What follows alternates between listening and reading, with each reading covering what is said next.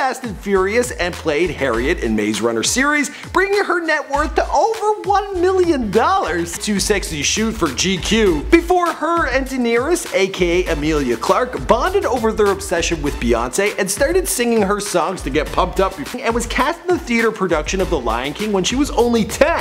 From there, she got a gig on the Liverpool soap opera Hollyoaks, but after four years, her time on the show came to an end, and it didn't take long for Game of Thrones to scoop up the young beauty. What's going on guys, my name is Michael McCrudden, documenting the life of Natalie Emmanuel prior to fame, here for you on Before They're Famous. Now this girl has an extra H in her name, and it's got me thinking it might be Nathalie. Nathalie? We're gonna go with Natalie. I hope I'm getting that right. As always guys, be sure to let us know in the comments down below who you want to hear about next. And I'm really surprised, but you guys are loving these babes from Game of Thrones. Ah, actually, I really shouldn't be too surprised.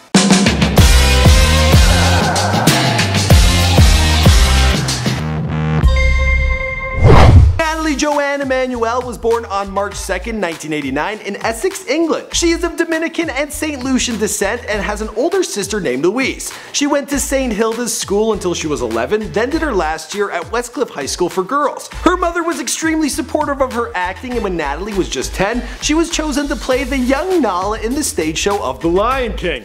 Ooh, I saw that once. It was really good. I would have played Scar because I got something going on here. Natalie then caught the attention of a casting director on the UK soap opera Hollyoaks, and at the age of 17 was cast as Sasha Valentine. The show was shot in Liverpool and during her time, Natalie found her character dealing with gangsters, prostitutes, drinking, and a heroin addiction. You know, all the fun stuff that comes with daytime television. Sounds like a show I kinda would wanna watch. Her time at Hollyoaks lasted 4 years, and it was done in 2010 she had grown into an absolute stunner. At the ripe age of 24 she had the opportunity to audition for the third season of Game of Thrones as the soft-spoken, gorgeous translator and handsmaid Missandei. A huge Thrones fan herself, she went to the audition nervous, then didn't hear anything for weeks. Oh the life of an actor, or actress. Assuming that they had gone with another actress, she went on with her life. Miserable. She was looking for her next gig.